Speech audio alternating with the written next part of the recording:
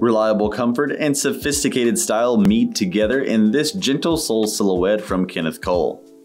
This penny loafer features a suede upper that's very lightweight with an iconic throwback mock look with that stitch detailing across the front. It has a penny keeper across the vamp for iconic style as well, and the inside is soft suede to keep it nice and cool. It comes with a removable foam footbed that has lots of memory foam cushioning for support in every step, and it sits on top of a grippy man-made outsole that's very reliable with a unique texture, and it uses a bit of a driver seal there in the back.